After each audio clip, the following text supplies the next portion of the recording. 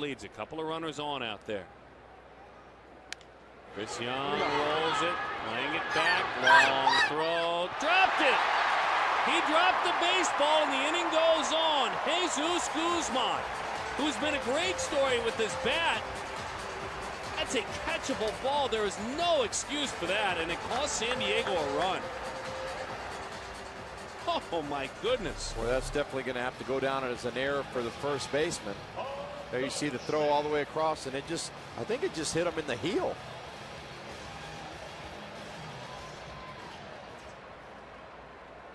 Hit him in the heel of the glove. Should have turned his glove the other way.